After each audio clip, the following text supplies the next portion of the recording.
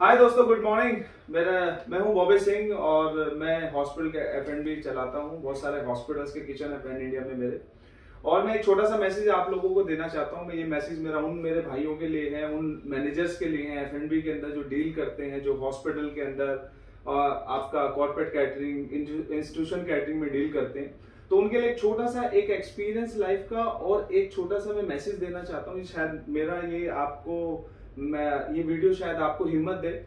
तो मैं आपसे, जितने भी मेरे मैनेजर लोग हैं, जितने भी जिन लोगों को पाँच साल, दस साल का एक्सपीरियंस है, जिन, जो मैनेजर की पोजीशन पे है तो मैं भी आज से दस साल पहले, पंद्रह साल पहले जॉब करता था। मैंने भी हिम्मत करके जॉब छोड़ी और बिज़नेस स्टार्ट किया। और ये उसी का नतीजा है। तो एक छोटा सा मेरा लाइफ का किस्सा है, जो मैं वो आज बता रहा हूँ। सिर्फ़ इसलिए बता रहा हूँ कि ताकि मेरे जो मैनेजर हैं जो ये चाहते हैं बिज़नेस करना और इंडस्ट्री में काम करना चाहते हैं, अपना काम करना चाहते हैं, ये मेरा वीडियो उन लोगों के लिए थोड़ी सी हिम्मत पैदा ज़रूर करेगा और ये मेरा विश्वास है। आज से तेरह साल, चौदह साल पहले की एक छोटी सी बात है। मैं फ़ोन लेने गया हुआ था नोकिया का तो मेरे पास तीन सौ रुपए कुछ कम थे। तो वो मेरा जानकारी था, काफ़ी टाइम से हाई हेलो होती थी तो मैंने सोचा कि तीन सौ रुपये शाम को ले लेगा, कल ले लेगा। पर उसने मुझे, मैं फ़ोन लेने गया नोकिया का, मेरे पास पंद्रह सौ रुपए थे, और उसने मुझे दुकान से वापस भेज दिया। मतलब मैंने फ़ोन हाथ में लिया, मैंने कहा, तीन सौ यार कल ले लियो। तो फ्रेंडली उसका नेचर था, मैंने कहा, दे देगा। तो उसने फ़ोन रख लिया, कहता, नहीं, तीन सौ रुपए लेके आना, फिर फ़ोन लेके जाना। तो ये मेरे आज से बारह से तेरह साल पहले का इंसिडेंस है, और आज ये जो ये जो फ़ोन है, जो कल मैंने लिया है, मिल नहीं रहा था। चंडीगढ़ में काफ़ी दिन से ट्राई कर रहा था। क्योंकि मैक्स प्रो तेरह पाँच सौ बारह जीबी का फ़ोन है। ये इंश्योरेंस मिला के एक लाख छिहत्तर हज़ार का मुझे पड़ा है। पौने दो लाख के आसपास है।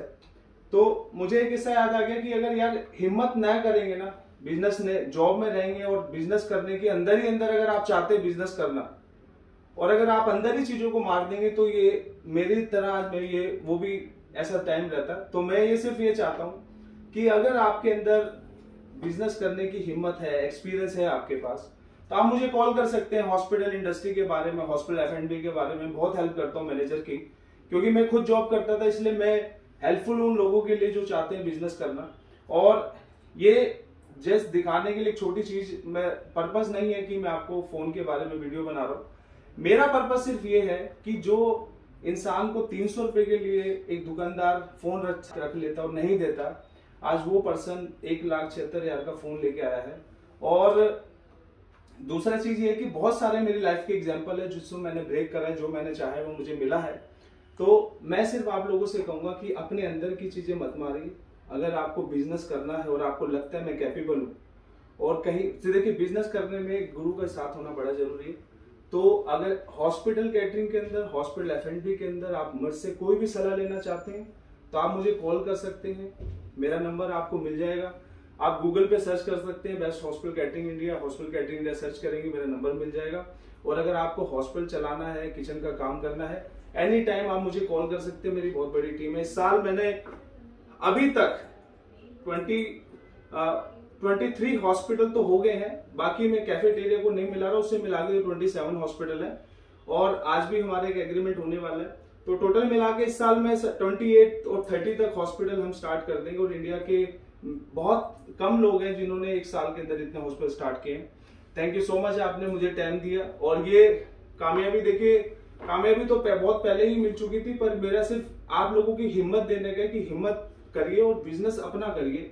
अपना करने में आपकी हमेशा सक्सेस छुपी है। और अगर सही डायरेक्शन किसी के लेंगे किसी गुरु के साथ बात करेंगे या जिसने सक्सेस करी है उस इंडस्ट्री के अंदर अगर आप उसका सपोर्ट लेंगे। ढूंढिए उन लोगों को, जिन लोगों ने आपकी इंडस्ट्री में तरक्की करी है। और मैं, मेरी ब्लेसिंग है और मेरी विश है और मैं हंड्रेड परसेंट गारंटी दे रहा हूँ कि आप ज़रूर तरक्की करेंगे। तो सोचिए मत, करिए। बहुत बहुत थैंक यू आप लोगों का और इस मैसेज को सुनने का। बहुत बहुत थैंक यू गुड डे